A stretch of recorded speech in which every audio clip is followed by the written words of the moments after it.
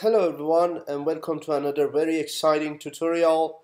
Today I'm going to be talking about easing functions using CSS and JavaScript.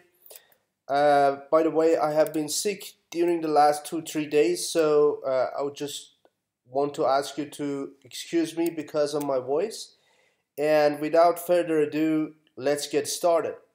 During the last week, I have been developing the code to generate this awesome page, right? And this is all about easing functions.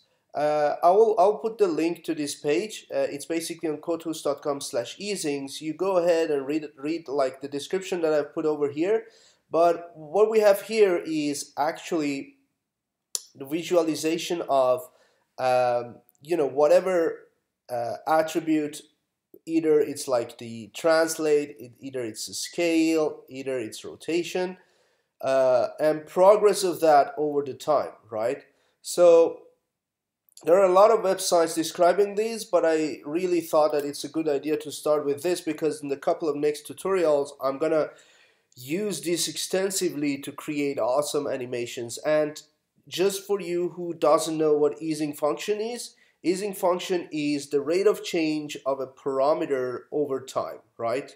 So the, the normal way of defining it is the linear animation. Linear animation is that the speed of the animation is totally constant and that is not uh, what we have in our physical life, right? So I'm going to go ahead uh, and click on some of these easing functions to show you what happens. So we have this box over here to visualize the animation.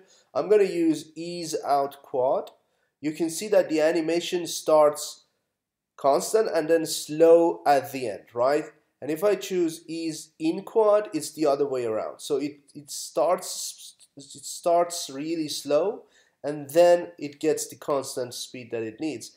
And then if I choose, for example, ease in out quint, you'll see that you have this awesome jump as if it tele teleports to the end position, right? And just to, just to give you an idea of what these namings are, quad, you know, cubic, quint. These are basically mathematical functions.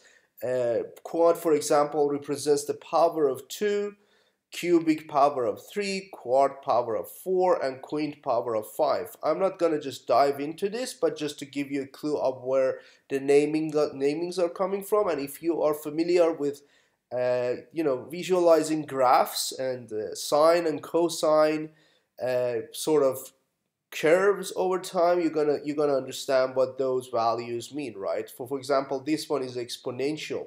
You can see that it it starts really slow and then it goes fast right? And also the other way around it starts really fast and then it slows down.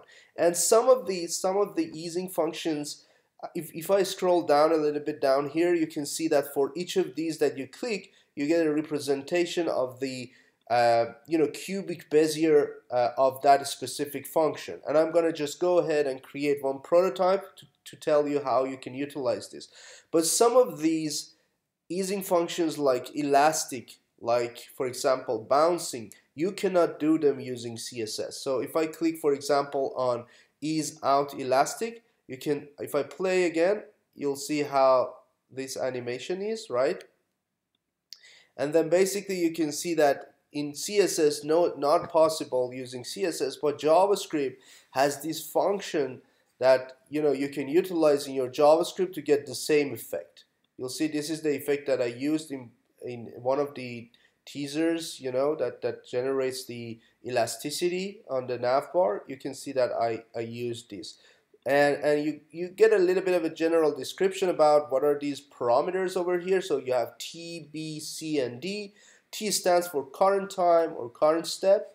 B, the starting position of your animation. C, amount of change, basically the end minus the start of the animation. So if, for example, you're going to translate something 300 pixels, the end will be 300 pixel and the start is going to be zero. So the amount of change is going to be 300 pixels, right?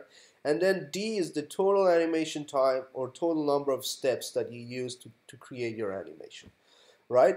So without further ado, let's go ahead and create a uh, prototype and I'm going to show you how you can utilize these. I'm going to create a box and then in my CSS, I'm going to say with maybe 30 pixel, height 30 pixel, and then background uh, maybe orange, and then uh, well I guess that's enough. I just need to set the position to be absolute, and maybe give it a left of 50% so that we have a little bit of uh, you know maybe not 50%, maybe 50 pixel.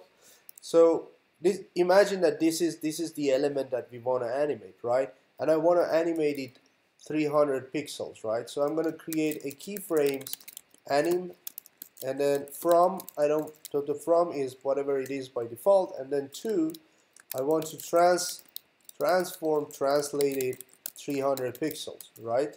So I've defined my animation. Now in order to use that, I am going to write animation in my box class uh, and I'm going to use the name of my animation here. Uh, so sorry, anim, and then let's say one second, right? So you can see that I have a one second animation. This animation defaults to ease out as the easing function because that's the default for CSS animation here. But I'm going to just change it to linear, right? So this you can see that it is all linear. And in order for this to stop at the end, I'm going to just add uh, animation fill mode to be forwards, right? So now it will end. So again, I'm going to go just run the animation again. By the way, you, you see a lot of time I run the animation. I just put it like a space here and it just runs the animation again, right? So you can see that we have a linear animation. Going back to our easing functions, I'm going to, let's say, use this uh, ease in out expo. This is one of my favorites. And then I'm going to, to the CSS so you can see that we have the code for the transition. So for example, if you want to have interaction in your JavaScript by clicking on something, then you want to run this transition. But the only thing right now I need is the cubic bezier that is defined over here. So I'm going to copy this and I'm going to come here. Instead of linear, I'm going to paste that cubic, right? So you can see that now I'm going to get this cool animation that utilizes that uh, basically ease in out expo which is pretty much uh, easing like slow in the beginning real quick in the middle and then slow at the end right so again if I run this we're gonna get this and then if I go back for example choose another thing let's say for example this one. So you can see that or maybe maybe something else. Maybe let's choose uh, we have ease in back. So we have this. And then we have ease out back. And then we have ease in and out back. So let's let's use this one. So I'm going to choose this cubic bezier over here. And I'm going to paste it in the place where I define the other cubic bezier so you can see that if I run this again uh, well let's see why it didn't work. This is basically the cubic bezier I have to use. Uh, I'm going to choose this one. And then I'm going to use that in my cubic bezier animation over here. And you can see how it goes back and forth. So the reason the first one didn't work is WebKit transition all here we've defined.